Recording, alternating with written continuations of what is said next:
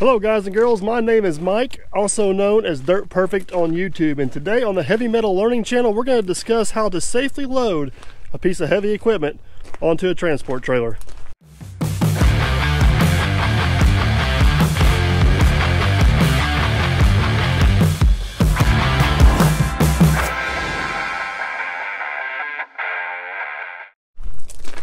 So a couple things here before we tear headfirst into this video. This is going to be a very basic, just some things to look out for, some things to watch for, and maybe a couple techniques to safely get a piece of equipment onto the trailer. I personally think this is probably one of the most dangerous maneuvers you can make with a piece of heavy equipment, and it's often overlooked onto a job site is actually loading it up to transporting it. Unfortunately, as you can see in this picture, I understand firsthand how dangerous that can be.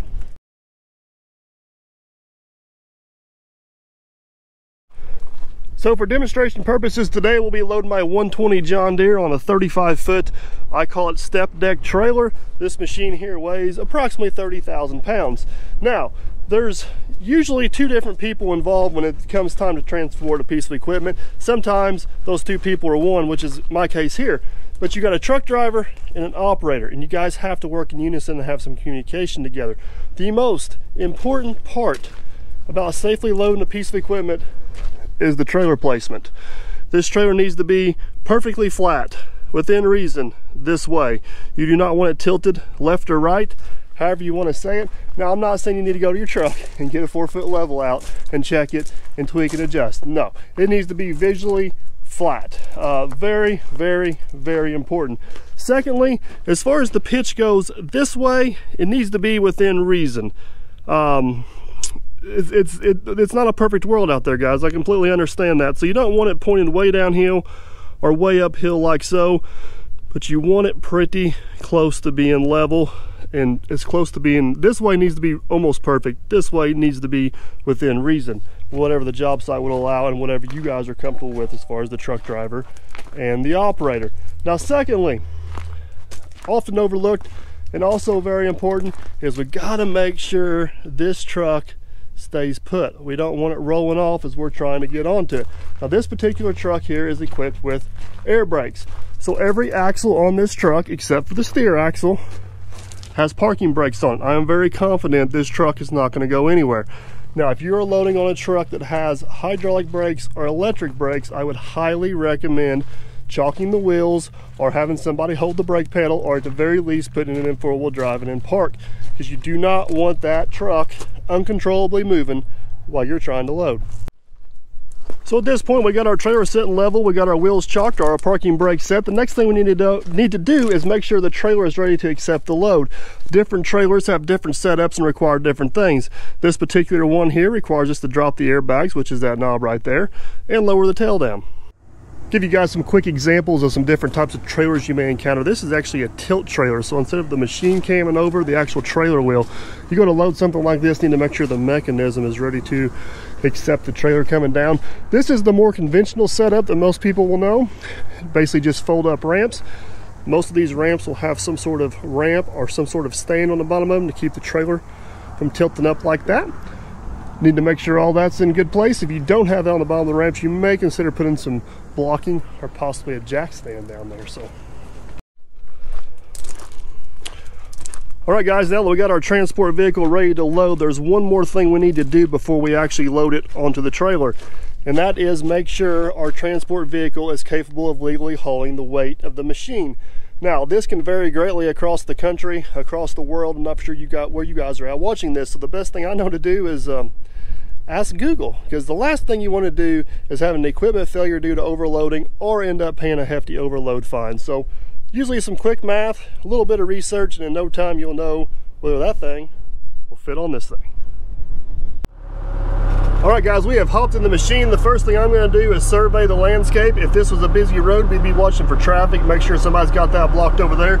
We do have an overhead, overhead obstacle over here, is in a power line. Uh, you just kind of got to assess where you're loading and what obstacles you may have and make sure everything's clear. Make sure you know which ways you can move and which ways you can't. For example, whenever I go on this trailer, I cannot swing that way. I will intersect that power line, so I will have to go that way. So we got our seatbelt on, we got our safety lever lowered. At this point, we're going to approach the trailer. So then we go to approach the trailer, what we do not want to do is come into it at an angle like so. I know my window's dirty and it's hard for you guys to see. Now if you start up on this trailer, you want both of those tracks or both of those tires to reach at the same time. See how I'm skewed? It's very hard on the trailer, it's very hard on the equipment, and it's very hard to turn controlled once you go up. So you need to get yourself lined up, lined up pretty good, like so. Once we get ourselves lined up, we will very slowly start climbing on the trailer. Now on this particular machine here, I can get a visual on the front of my tracks and make sure I'm lined up. I can also do the same thing over there. I apologize, my windows are a little bit dirty. We are on an active job site. So as we crawl up on here, I'm gonna be doing that. Now, there is some equipment where you cannot see that wheel, you cannot see that track. At that point, I highly recommend a spotter because you got inches to play with here and you don't want to be an inch off because, well, you see in the picture at the beginning of this thing. So we're gonna crawl up in on here easy and eventually you're gonna get to what we call the cam over point.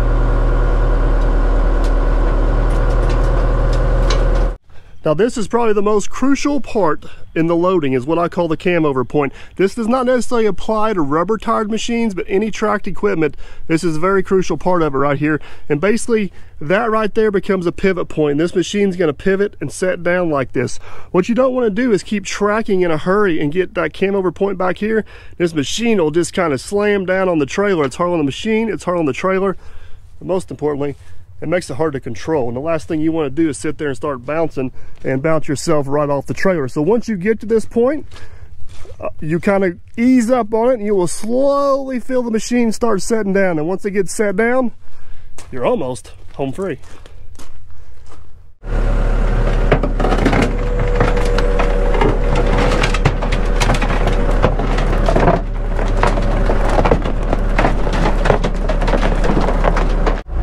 And there you go guys, just like that. Nice, easy, slow and steady. Did you see how easy that machine just set down? Loading a trailer should never be a race. It should always be slow and steady and you should never do anything you're not confident in your abilities. If you don't feel comfortable, say, hey, let's let somebody else do this. Last thing you want to do is get a piece of equipment damaged or worse yet, get yourself hurt. All right, guys, there she is, safely loaded on the trailer. Now, from there, we could talk about a bunch of different things from load placement to load securement to load transport heists to load transport whiffs. Oh, we could go on and on and on. But this video is about safely loading and unloading off the transport trailer. Now, if I was to unload this machine, I would follow all the steps I just gave you in reverse order. So hopefully that makes sense. Hopefully you find this video somewhat helpful, a little bit informational. And if you'd like for us to elaborate on any of the other points I talked about, comment down below and let us know. Again, my name is Mike Simon, aka Dirt Perfect, and we're on the Heavy Metal Learning Channel.